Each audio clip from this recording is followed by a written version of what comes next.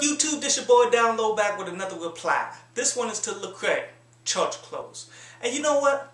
Lecrae is one of my favorite rappers out there, man. And I try to not classify him as a gospel rapper because skill-wise, he can compete with the best of them out there. He just happens to want to rap about gospel. And overall, this track is fucking amazing. But truly, you have to call it a track because it's not a song. It's not complete. And that's the only thing that messes it up. Like, if you create a hot 16 to go over top of a hot beat, then you have to take the time to complete that track. You have to take the time to create the hook, to create a bridge, to create the second verse or the third verse. Because truly a complete song can go farther than a incomplete song. It becomes more marketable. But the main thing that I really like about this track is the substance matter that he's talking about, man. Basically saying how churches do not accept you if you don't dress a certain way.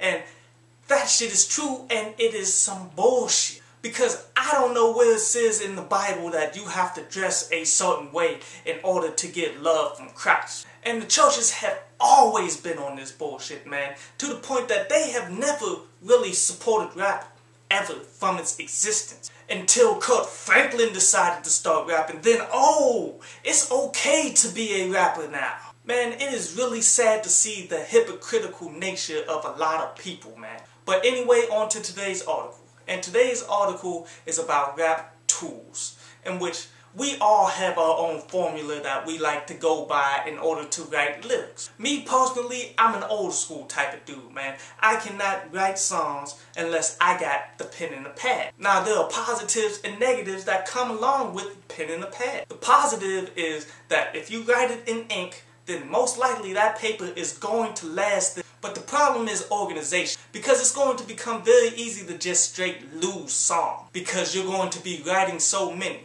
What I like to do when I write my songs in my notebook is I number each page. And on a cover sheet of paper, I list the songs that I really liked because I write a track every day. But there are other ways in which you can write your song. Like my homeboy Controversy. He writes his song with his Blackberry, I do believe. That's cool because it helps out on your organization. And it helps out with your ease and accessibility to rap. But when you depend on technology, it often will fail you. Just like Controversy, he ended up cracking the screen in his Blackberry, losing a whole bunch of songs that he wrote. Basically, you have to develop your own style of writing your songs and use whatever tools you got at hand. But also be prepared for the positives and negatives of your style.